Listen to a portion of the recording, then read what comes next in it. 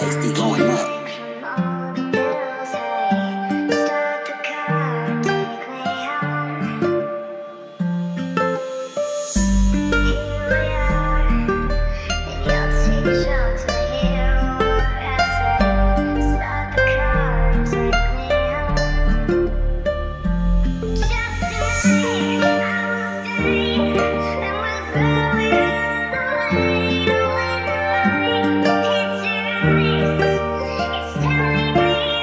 X made a bucket hit.